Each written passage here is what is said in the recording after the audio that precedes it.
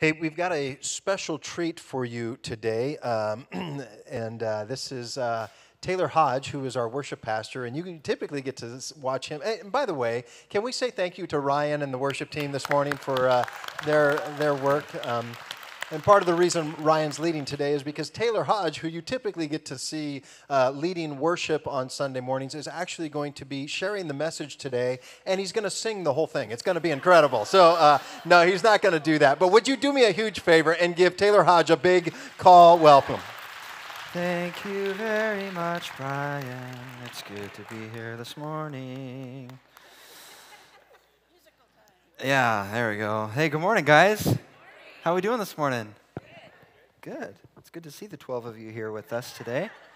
Um, yeah, just as Brian said, my name is Taylor Hodge. I'm the worship pastor here, and I get the privilege of bringing the word to you guys today. Um, for those of you who know nothing about me, this is what I look like. Um, this is my wife, Natalia, here in the second row, who I love and who I'm so grateful for.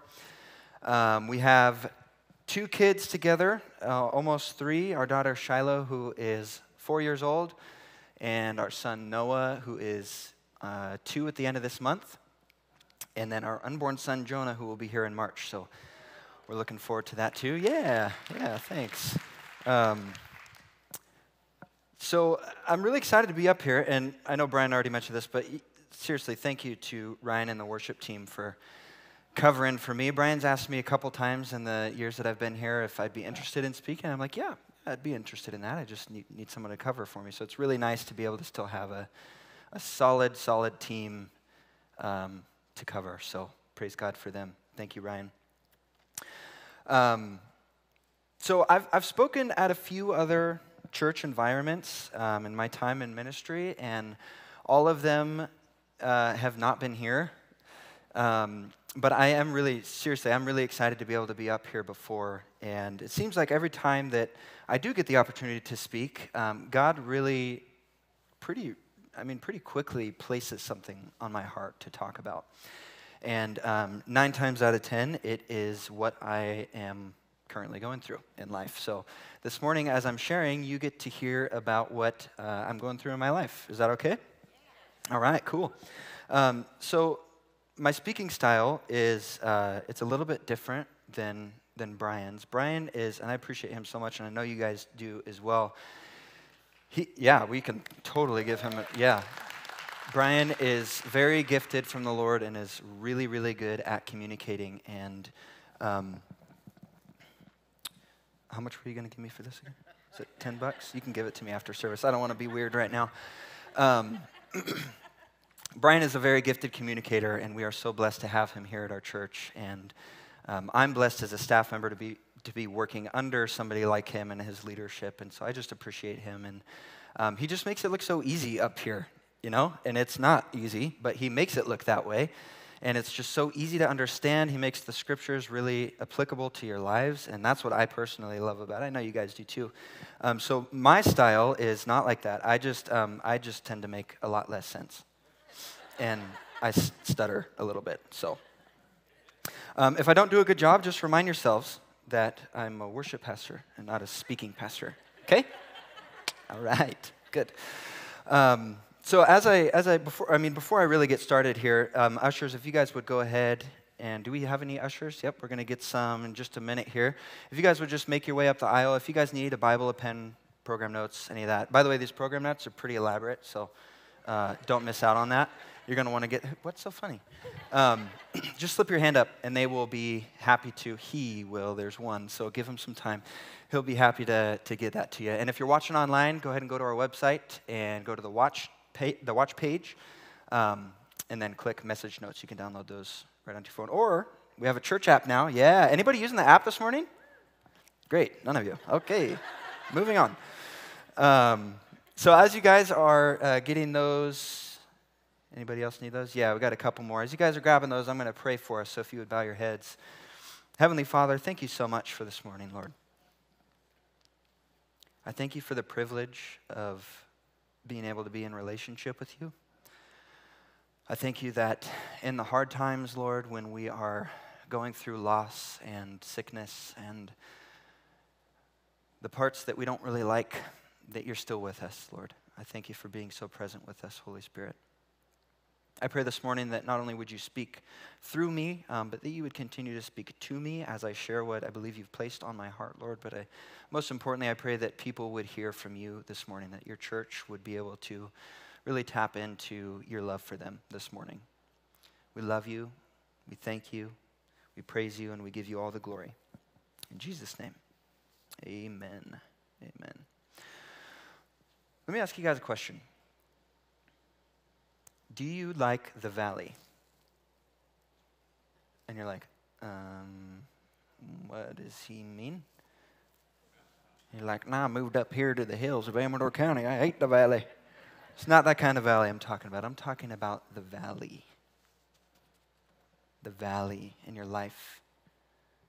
You know, like when you have everything you could ever dream of, your life is great, everything that you could ever ask for, you have. But then it just gets taken from you. Or maybe you lose your job. Maybe you lose a relationship. Maybe, maybe your marriage is falling apart. Maybe you've been sober for a long time and you've kind of slipped back into that. Maybe you struggle with other sorts of addictions all of that stuff just kind of stacks and stacks and stacks, and it just feels like it's going to fall on you. You know that feeling? No one wants to admit it because it sucks. That's just the truth. It does, right? Can we admit that? Is there anybody brave enough to admit that they were in that season this morning? Yeah, it's hard. It's really, really hard. We don't like that feeling. We don't like it because well, it doesn't feel good, first of all. We don't feel loved. We don't feel cared for. We don't feel, I mean, fill in the blank. I mean, it's just a bad season to be in, right? We like it when it feels good. We like it when our life is good and our life is on track. We like it when we have everything we could ever need. We like it when our relationships are good, when our marriages are good and healthy and strong, when our friendships are good, when our, our relationship with our family is good, like our parents, like in laws, okay, in laws can be hard, but like when all that stuff is good and you don't have anything to complain about, it's, it feels good, right? Somebody say it feels good. Okay, thank you, three of you. Maybe you're thinking of a time right now where you've had that before. Not that you're necessarily in a valley, but maybe you can think of a specific moment in your life where you're like, dang, I feel good. My life is great. You know, the problem, at least for me, and I'm just going to be totally transparent, like I told you, this is something that God has been stirring in me.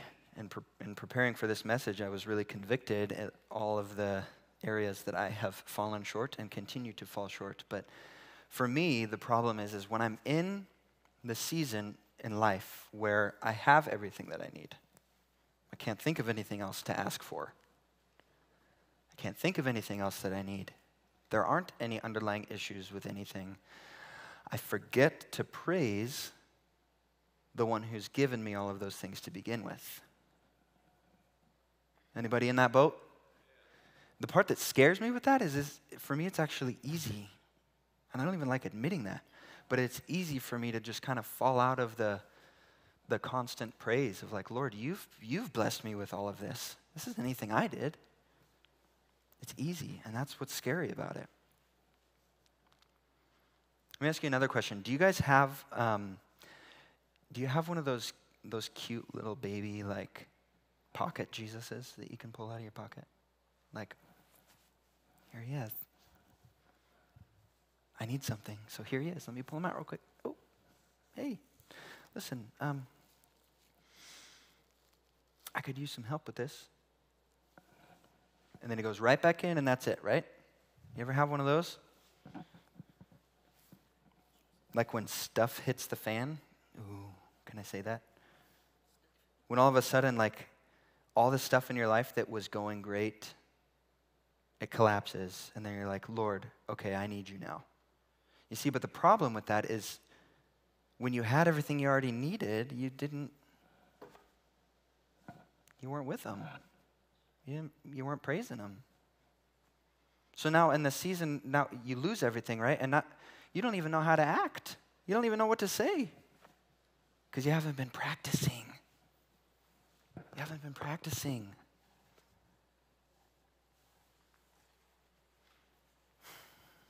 It's almost like we unintentionally pull them out of our pockets and we're like, hey, Lord, thanks.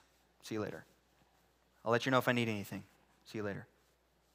That's not the kind of relationship that, that God wants to have with us.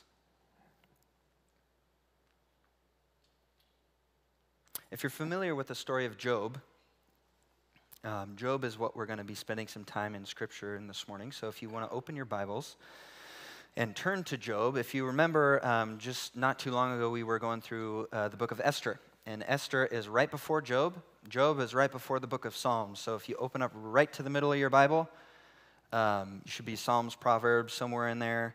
Just hang a left and you'll get to Job. It's right before the book of Psalms, okay? So we're going to go right in there in chapter 1. Um, and I'm just going to read this for us. If you guys want to, if you guys want to follow along, I really want to encourage you. If you don't have a Bible, get one out because we're going to spend a lot of time in Scripture this morning. Job chapter 1, verse 1. There was a man in the land of Uz whose name was Job. And that man was blameless and upright, one who feared God and turned away from evil. There were born to him seven sons and three daughters. He possessed 7,000 sheep, 3,000 camels, 500 yoke of oxen, and 500 female donkeys, and very many servants, so that this man was the greatest of all the people of the East. His sons used to go and hold a feast in their house, and each one on his day, and they, they would send an invite to their three sisters and eat and drink with them. In verse 5, and when the days of the feast had run their course, Job would send and consecrate them and he would rise early in the morning, offer burnt offerings according to the number of them all. For Job said, It may be, it may be that my children have sinned and cursed God in their hearts. Thus Job did continually. Continually. That's a key word there. We'll touch on that. Verse 6 says, Now there was a day when the sons of God came to present themselves before the Lord, and Satan also came among them. And the Lord said to Satan, From where have you come? And Satan answered the Lord and said, From going to and going fro on the earth, and from the walking up and down on it. And the Lord said to Satan, Have you considered, have you seen my servant Job? There is none like him on the earth, a blameless and upright man who fears God and who turns away from evil. Then Satan answered the Lord, Sassy Satan. Somebody say, Sassy Satan. There you go. He says this Does Job fear God for no reason? Have you not put a hedge around him and his house and all that he has on every side? You've blessed the works of his hands, and his possessions have increased in the land. But watch this stretch out your hand and touch all that he has, he'll curse you to your face. And then the Lord said to Satan, Behold, all that he has is in your hand. Only against him do not stretch out your hand. So don't hurt him, don't take his life.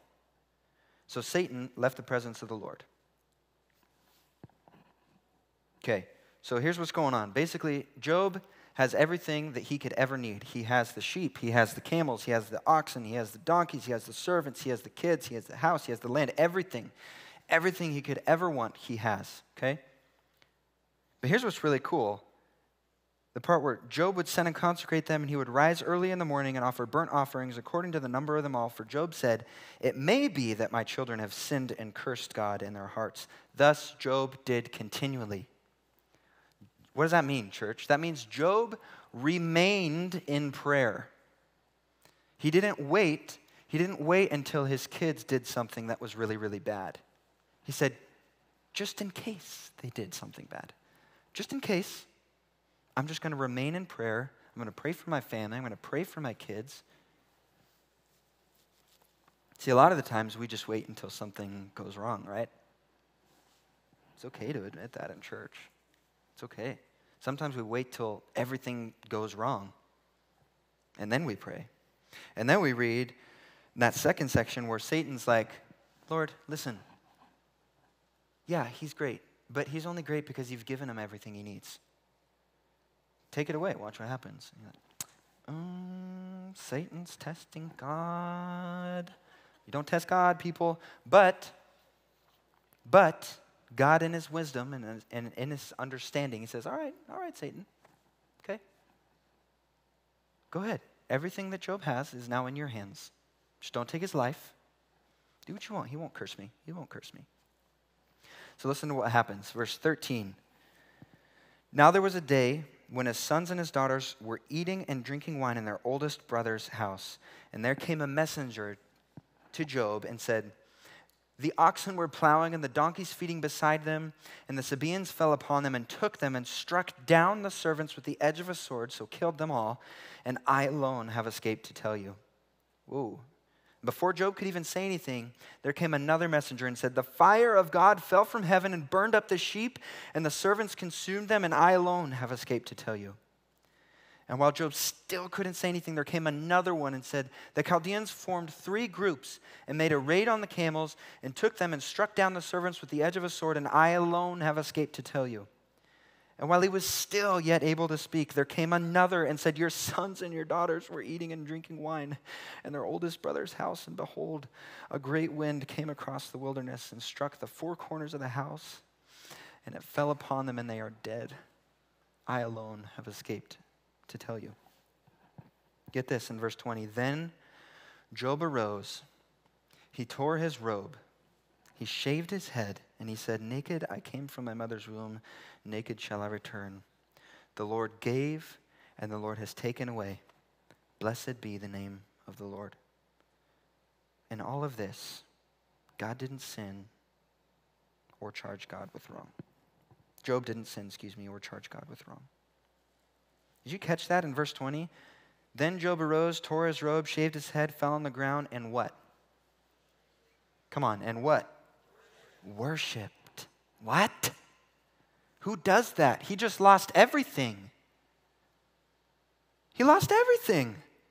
All of his animals are gone. His house is gone. His kids are gone. They're dead. What does he do? He falls on his knees and he worships. And he said, Blessed be the name of the Lord. He gives and he takes away. In other words, God, I see that you probably have a plan here. You probably have something going on. I don't know what it is but I worship you because I trust you. You see, because he's, he's remaining, before that happened, he was remaining in Jesus, remaining in a relationship with God. He was praying continually, he was training. Because listen, church, if you're not in a valley right now, odds are you're going to get in one soon.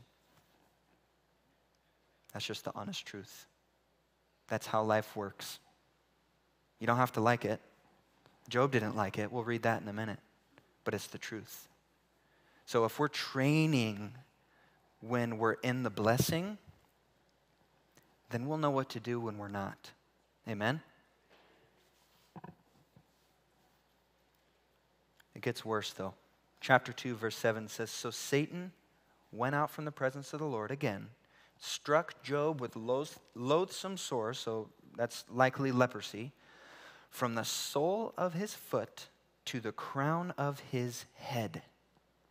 And he took a piece of broken pottery with which to scrape himself while he sat in his ashes. Whoa. So not only did Job now lose everything that he had kids, house, land, animals, servants now he lost his health. Now he doesn't even have that. And he's sitting there scraping himself with the agony that he is in. It gets worse. Then his wife said to him, Do you still hold your integrity? Or, in other words, do you still worship God, Job? And then she says, Curse him and die. His wife said that. Okay, ladies, listen. Let me tell you something. Probably shouldn't say that to your husbands. It's not super encouraging. It gets even worse. It gets even worse. So Job has friends. Friends. He has three of them. And they're texting each other because they heard about all this stuff that's going on with Job. So they're like, They're like, hey guys, listen. Our buddy Job, he's he's going through something. Are you guys free? Could we like maybe get together and go be with him for a minute? See how he's doing. And they, they text back. They're like, yeah, yeah, yeah, we're free, we're free, we're free. Where do you want to meet? So they go and meet Job. They sit with him for seven days and seven nights, but they don't say anything. They're just sitting with him in his presence. You know, that reminds me of a story, um, not a story, it's a true story of uh, something that happened to me in high school. It's a long story, so I'll give you the Cliff Notes version. Um, I was really, really into working out and fitness. And um, in fact, part of my story is this story, and I'll save the whole story for another time. But um, I actually, it was really unhealthy. I began to idolize the way that my body looked and how much muscle I had. I know you're like, wow, his arms are still really huge. Um, um, and so I was, I was really sick, actually. I got really sick. I think it was the flu, if I remember correctly. And I went to the gym, stupid, while I had the flu. This was before COVID, obviously. This was high school time. And, uh, and I worked out really hard with the flu. I'm like, what the heck? I look back, what the heck were you thinking, Taylor? The flu, you were already dehydrated. Anyway, so what happened was um, I went home after that gym. I, I, was probably there for an hour and a half or so, and I longboarded home, which is basically just a big skateboard, and it was like eight miles home. So I got my cardio in before and after, um, and then I get home and I just, I just crashed. I physically couldn't move. My arms locked up like this. My legs were straight as an arrow, um, and I'm skipping a lot of detail, of course, for the sake of time. But um, I remember my mom was home. She came up uh, to make sure I was okay. I'm like, yeah, I'm good, mom. Just sick. I'm going to take a nap, whatever. She comes up like four hours later. I'm in the same spot, just like. And she goes, uh, what are you, what are you doing, bud? And I couldn't talk. I couldn't do anything. I mean, I was in so much pain. I physically could not get my arms to move. She tried. My mom tried to pull them, and I'm just screaming in pain. And then when she would let go, because I'm screaming, it would just kind of shoot back up. So my muscles were just like were just tightening so much. And so she calls the ambulance. They come, they pick me up, take me to the ICU. I ended up in the ICU for roughly seven days. A little ironic. And, uh, and I remember there was a moment, there was a moment I was in the ICU and I was really, really depressed, really discouraged. Not only was I in physical pain, I was in emotional pain too because my pride was being destroyed. Because I idolized the way that my body looked. And I'm laying there in my hospital bed, literally seeing my body change in size because what I was diagnosed with is called rhabdomyolysis. I don't know if you've ever heard of that. In short, it's a condition that never goes away, you always have it. And um, if you overexert yourself, basically what happened, is I overexerted myself way too bad and I was super dehydrated. So what happens is my muscles were trying to find nutrients. So they were actually physically, and I mean this literally, they were eating themselves because they were trying to find some sort of nutrients. And so I'm laying there in my bed after all of this, my hospital bed, after all this work of going to the gym and like seeing real progress physically. And I'm like, man, I'm, I love the way that I look. And then seeing all of that literally go away in a day. I don't remember the exact amount, but I lost somewhere between 10 and 15 pounds in like four days. And I couldn't figure out why God was letting this happen to me. And my friend, Chris is his name, I'll never forget him. Chris came early one morning, that day that I was super depressed and discouraged. Chris came to visit. And Chris stayed with me for 24 hours. He canceled all his plans. He came and stayed with me and sat next to me on my bed for 24 hours. Didn't complain, we didn't talk a whole lot, but I knew that he was there for me. He just wanted to be with me. You guys have any friends like that? Yeah? It's a good gift. Job's friends, you might think at first, yeah, yeah, that's kind of like Job's friends. They sat there for seven days. Oh, yeah. No. Job's friends are jerks. Okay? That's just the truth. Job's friends are jerks. This is what happened. He has three of them. They're all three with him. The first one, after seven days, they're like, okay, it's been seven days. We're hungry and we're thirsty. Okay, time to break the silence. Job, listen, buddy. Um, I think I think I know why this is happening to you. You have some crazy bad sin in your life. You can read this. This is actually what his friends are saying. You have some crazy bad sin in your life, Job, and God's punishing you. And then Job retaliates and says, No, I have no sin, but you know what? If I do, Lord, I'm sorry. I worship you. And he continues to worship. And then his second friend says, Yeah, yeah, yeah, yeah, yeah, I, th- I think he's right. I think he's right. Mm-hmm. You know what else? I think you're being kind of a sissy. Job, I think you're being kind of a sissy. It's not that big of a deal. And he says, if you just, basically, in essence, what he's saying, if you just pretend like what you're going through is like not that big of a deal, it's going to be fine. So he minimizes everything that's going on. And then his third friend, oh, his third friend is a gem, let me tell you. You know what he says? He says, Yeah, yeah, Job, mm-hmm, they're right. You know what else? You deserve worse. He says that. Great friends. Wow. I'd be, if I was Job, I'd be like, Hey, wow, guys, thanks for, uh, thanks for staying with me for seven days. Can you just get out now? Because you're kind of rude. He doesn't do that. He, def- he actually defends God. Like, what the heck? If we go back to chapter, or that, the first section in chapter one, when God says he's an upright and blameless man, wow, he really is an upright and blameless man. So check this out. Let's go down the list. His kids are gone. His house is gone. His land is gone. Animals are gone. Now his three relationships with his friends are gone because they're jerks. And his relationship with his wife is now gone because she thinks that he should curse God and die. You think, what the heck else is, what's going to happen next?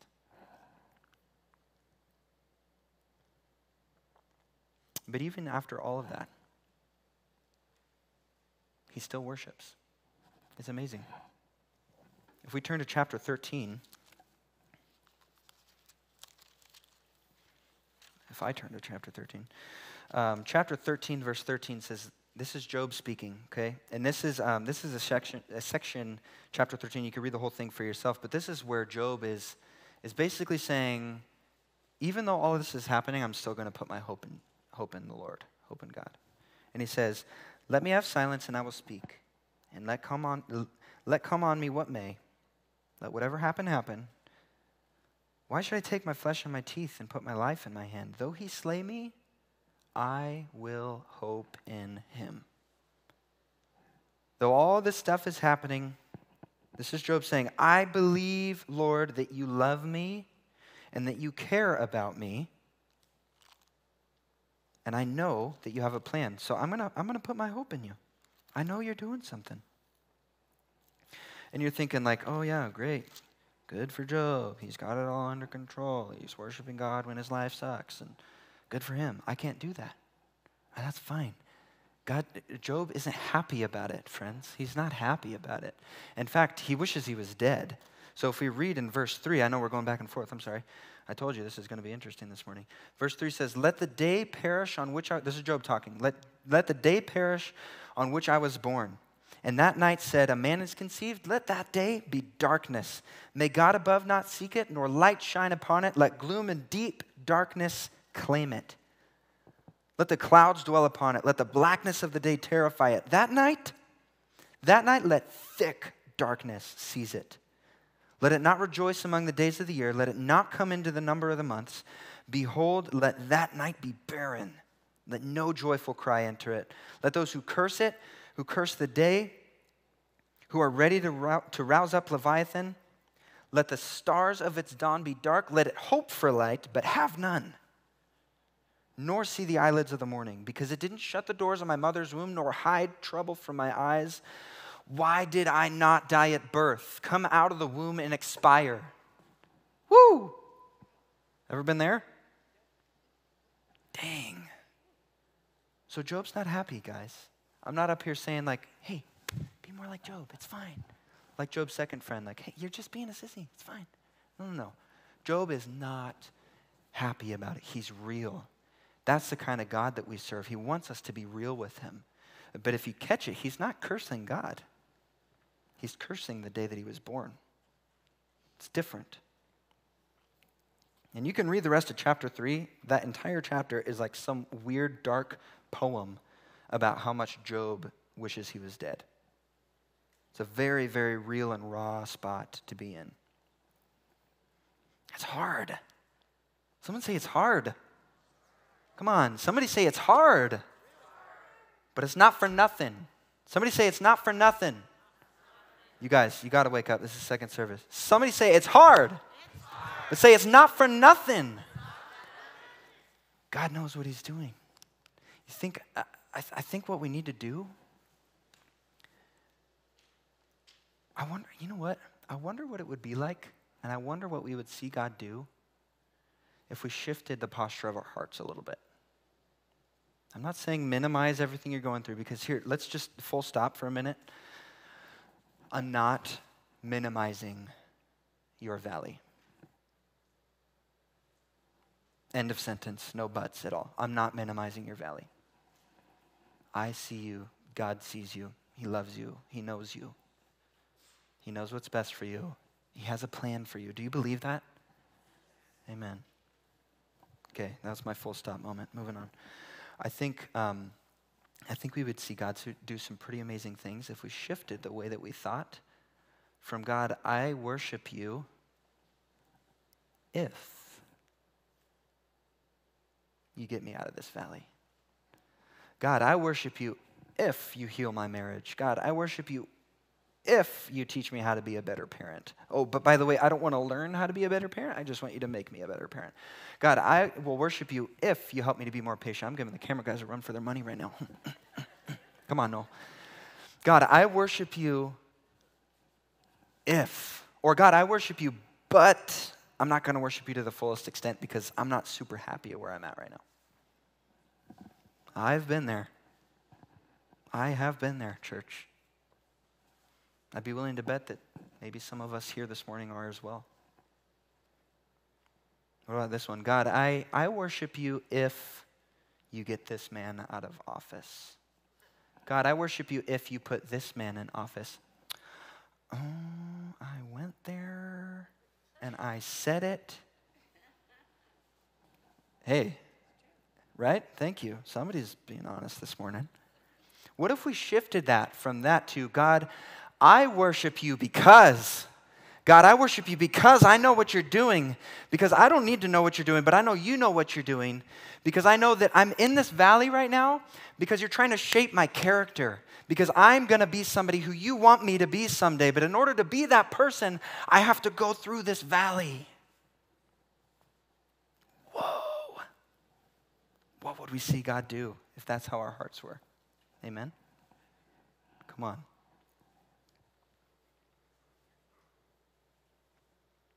What if it's something simple like, I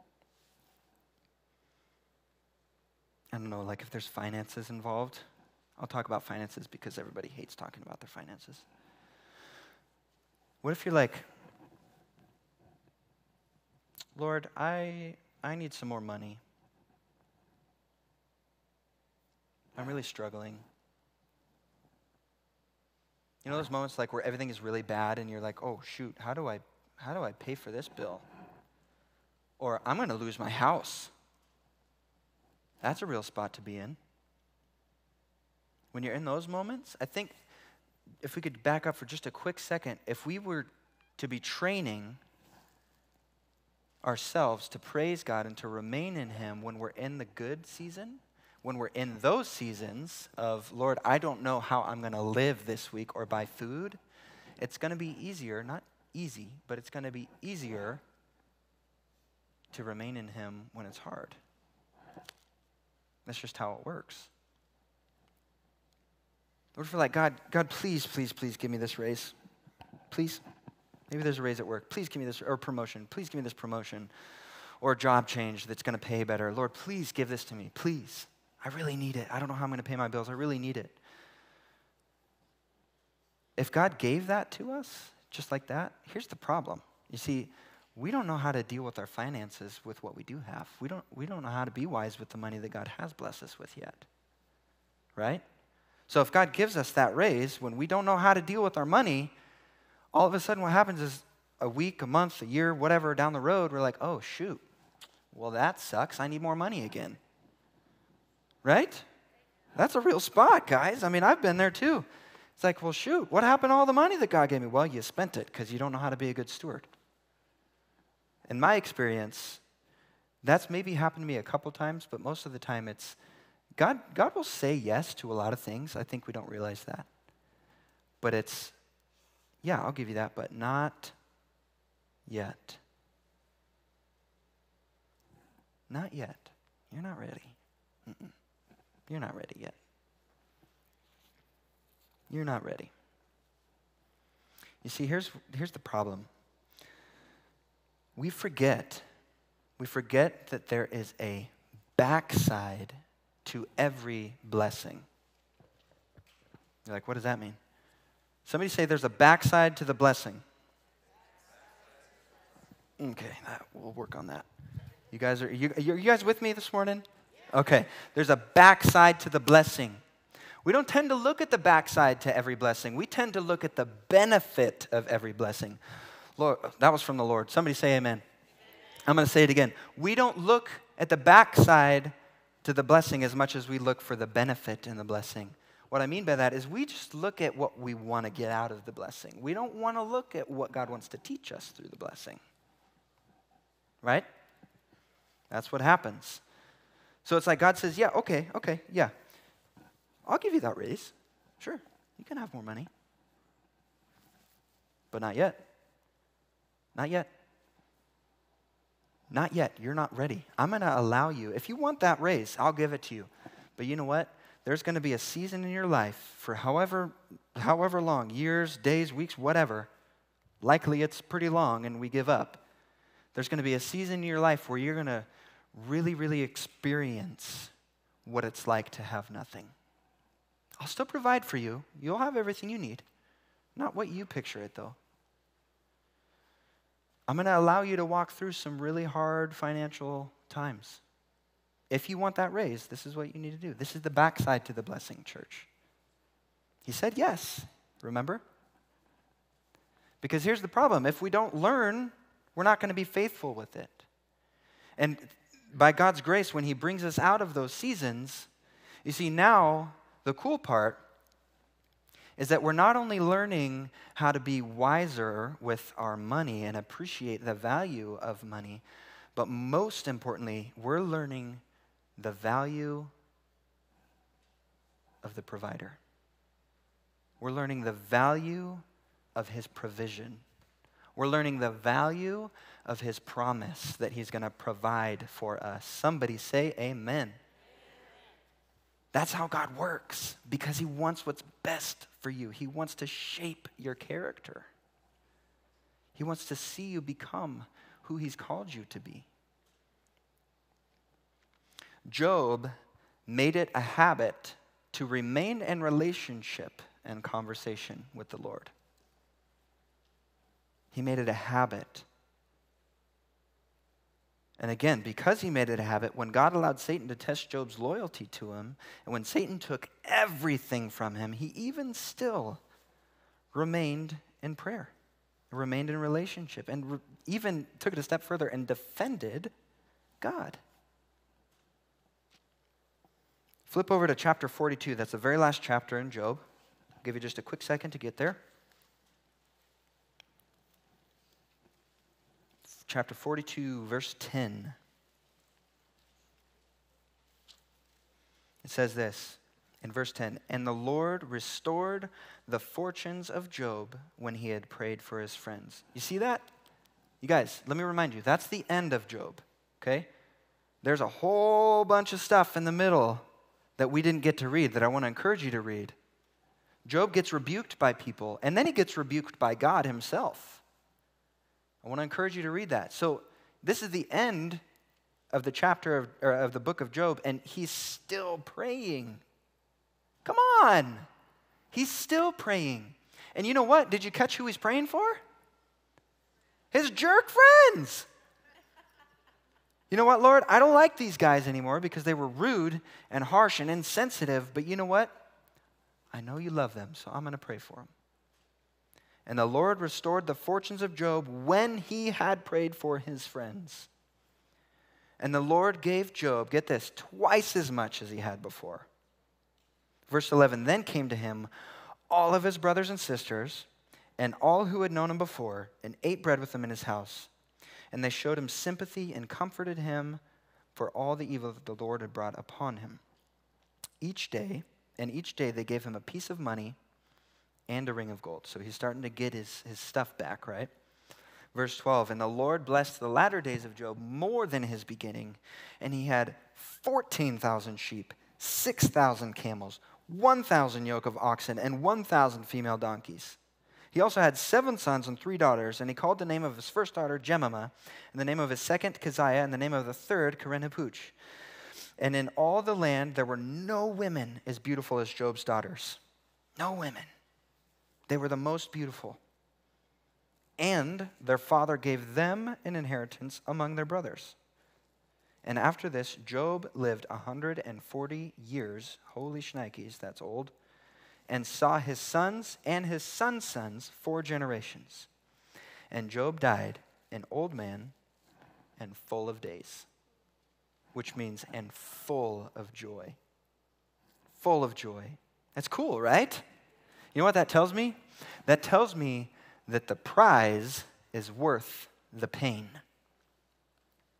The prize is worth the pain. God knows what He is doing, church. He knows what He's doing. And maybe this morning you're asking, like, or maybe you're saying to yourself, like, okay, yeah, that's really, really great for Job. Like, what does that mean for me? Well, take away what you want from it. But here's what I would hope that you get from it. First, I hope you know that when it feels like God has left you, I want you to remember his promise to you. His promise, his words.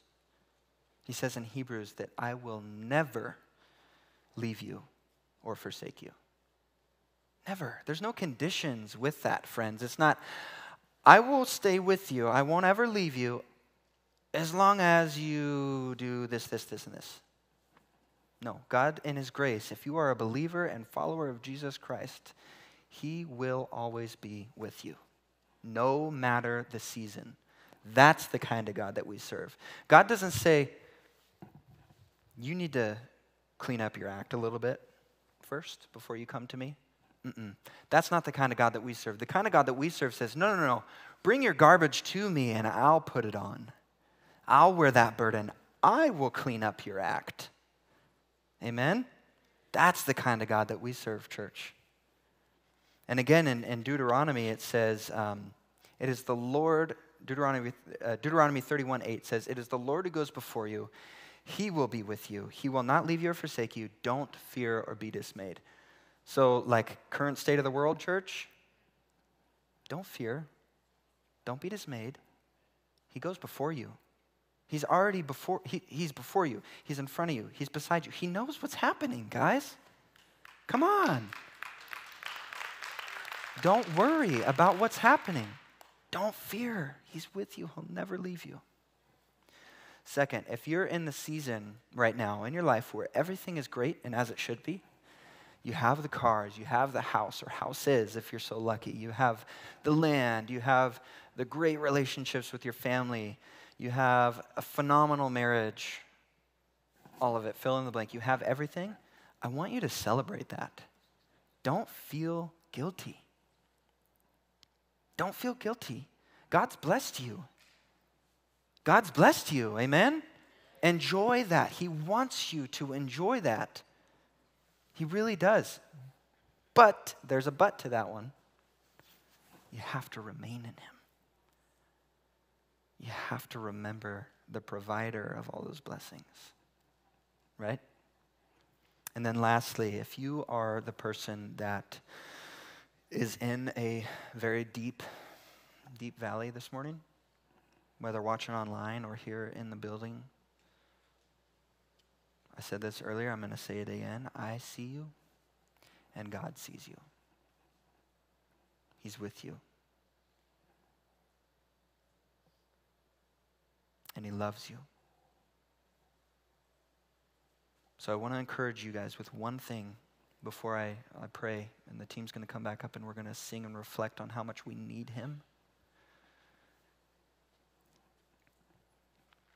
I forgot where I was going with that thought, but it felt really good leading up to it. um, obviously, it doesn't matter. So, Jesus loves you. Hey, have a great week. Um, darn it. Well, that stinks. And now I know how Brian feels when that happens to him. Uh, oh, I remember. Okay. When, when, you're, when you're in the season of that, you know, you're in the valley and you're, and you're just asking, like, why? Why is this happening? Why is this happening? Just change. I want to encourage you. I know it's not, it's easier said than done. I get that. I'm not being insensitive, but just try a little bit and watch what God does. Just try to change your attitude a little bit. Instead of asking, "Why are you letting this happen to me?" Try asking this, "God, what are you trying to teach me?" What part of my life is maybe out of whack or what part of my path to you is broken? What is it about my character that needs to be built? Try asking that. I promise you that you will hear from the Lord. Maybe not right away. You might have to wait a little bit, but remain in that. Amen? Amen. Let's pray together. Heavenly Father, thank you so much, Lord, for who you are Thank you for what you have done for us, Lord, as we just celebrated this Christmas season of you sending your Son. Father, we worship you with everything that we have this morning. Not if or but, but because. We worship you because you are good. Even when life is bad, even when things are bad, we worship you because you are good. Just because our life is bad does not mean that you are bad. You are good. We love you. We praise you. Lord, I pray a special prayer of encouragement for those who are in the valley this morning. Be with them, Lord. Show them your grace, show them your love, show them your comfort. Lord, I pray that you would give us a newfound joy in your name and in our relationship with you this morning. Thank you, God. We love you and we praise you. And all God's people said, Amen.